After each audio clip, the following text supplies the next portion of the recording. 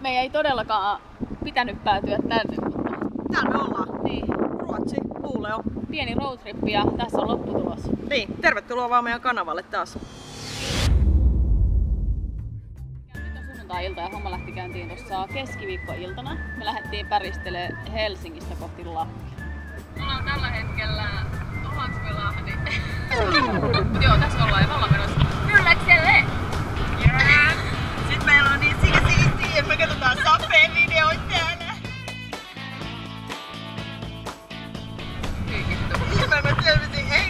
hengissä.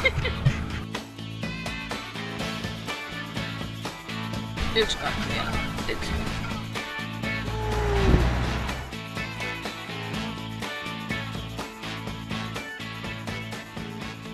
Me poikittiin sit Ruotsin kautta ja tuli ihan hirveä pullahinku. Mm. Ja tota, sinne me metsästettiin pitkään, että löytyisi joku pullapaikka. Ja sitten tulee sellaiset valtavat Kyltit. kyltit, siis monta vielä, niin kilometrin välein.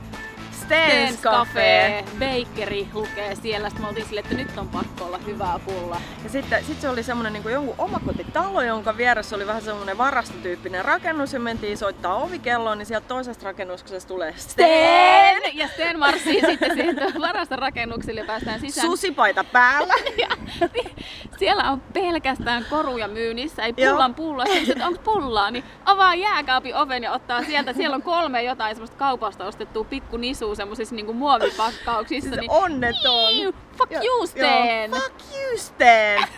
Mä en ikinä tulla sun fucking bakeriin takas. Me päädyttiin sitten loppujen lopuksi, siis ihan tarkoituksenmukaisesti ylläkselle. Tarkoituksena oli mennä tsekkailemaan, että mitä sieltä löytyy. Ja itse asiassa ensimmäisenä päivänä niin me lähdettiin ratsastaa.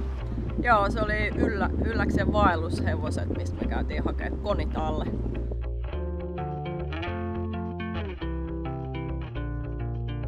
Ihan superkaunista, siis niin huikean kauniit maastot. Ja jos on yhtään ratsastanut, niin kun katsoo noita kuvia, niin hippaa, että on myös niinku aika ratsastettavat maastot. Se Virpi sanoi, että Suomen parhaat. Ja sitten sitä seuraavana päivänä niin Mm. päästiin vähän fillaroimaan. Joo, tuosta itse asiassa tuosta ratsastuksesta, niin siitä tulee myöhemmin lisää matskua meidän kanavalle, niin näette vähän, että mitä kaikkea siellä tapahtuu. Mutta sitten tosiaan hypättiin satulan selkää ja lähdettiin sinne Ylläksen paikkiparkkiin. Keli oli mitä mainioin, näkyvyys oli... Nolla. Tälleen kun laittaa käden, ei omia sormiaan nähnyt sille, että jos kaveri menee edellä, niin todennäköisesti huutamalla voi lähteä navigoimaan, mutta et ei näe yhtään mitään. Siis usva laskeutunut kuin verho siihen naama eteen, mutta jotenkin mä tykkäsin ihan sairaan paljon. Sitten alkoi satamaan ja no, me kuvattiin sitten jonkin verran, siellä oli tota, niin, Riku ja Viktor kuvaamassa ja me tultiin esimerkiksi yhtä ramia, yhtä alastuloa alas kolme tuntia. Ja ihan aluksi kun kuvattiin, niin vedettiin semmoisista kunnon rapakoista molemmilla niin kuin varpaista tänne ihan ylös asti, ihan märät. Ja sitten me seistään ja siellä tulee ihan hirveesti. Mutta kukaan ei valittanut. Se oli vaan silleen, että me vaan nieleskeltiin on kylmä. Niin. Mutta oli ihan sikasiisti. Jotenkin mä tykkään siitä, että silloin kun urheillaan, niin on kunnon tekemisen meininki. Niin se, että on happirikas keli, no yleensä tarkoittaa sitä, että saattaa olla vähän viileä tai Mm. sataa tai tihkuttaa. Mutta oli tosi hyvä. Se oli tosi siisti. Mm. Ja tota, hauskaa oli, oli niin hauskaa meidän siellä lauantai ylläksellä, että sunnuntaina sitten, eli tänään kun me piti päättää, että nyt pitää niin lähteä kotio kohti, niin mehän lähdettiin sitten vielä pohjoisempaan. Päätettiin, että nyt mennään käymään levillä. Tuulee taas ihan hirveesti! Mutta ei sada onneksi tällä kertaa. Joo, mulle, mun pitää olla huomenna aamulla 9.00 ensimmäisessä palaverissa, niin mitä tytöt tekee? Ei mulle mitään hajua, että millä mä oon silloin yhdeksältä siellä. Tai oli vähän hajua, että ehkä Rovaniemellä ja sieltä jos mahtuisi koneeseen. No siinä matkalla ruvettiin sitten selvittelemään, niin ei mahu enää mihinkään Kittilän tai Rova- Rovaniemen Tai koneisiin. Oulu. Niin, Oulu. Joo. Ei, se oli ihan täynnä se illankone. No, me mentiin sitten villaroimaan leville ja saatiin kunimas idea. Siksi olemme nyt Ruotsissa. Kyllä, tultiin heittää tämmönen pikku ketunlenkki tänne länsinaapuriin, koska täällä on niin ihanaa, niin Paitsi, tulla. paitsi, että pakko sanoa, että joku ongelma näillä on tämän pullan kanssa, koska just äsken kun me ajettiin joku puolitoista tuntia, ihan hirveä Mm. pullan hivo ja mitä taas käy? Mm. Pysähdyttiin kahville. Mikä näitä ruotsalaisia vaivaa? Siis taas kahvilat, jäätelöt on, täällä on, täällä on karkki, täällä on kahvi, täällä ei ole pullaa. Niin, ja ulkona on kyltti, että on tää pytinki tässä 50 vuotta pystyssä. Niin Eikö ne ole 50 vuotena saanut tänne pullaa? Siis tuolla on taas tommosia niinku valmiita kaupasta ostettuja tommosia niinku Ei näis pullia. e-koodi pullaa. Siis niinku tuore yksi pulla. Mm. Ai ja, Onko paljon vaadittu? on.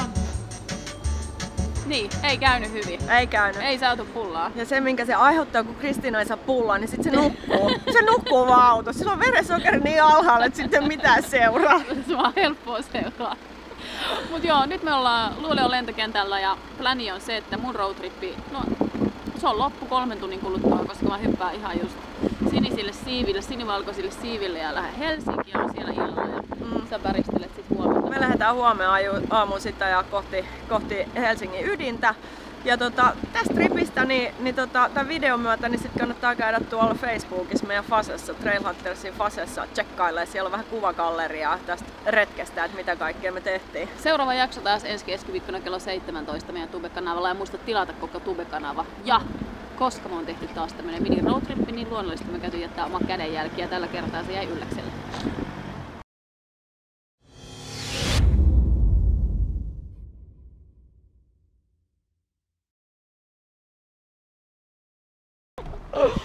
Fuck you, Sten.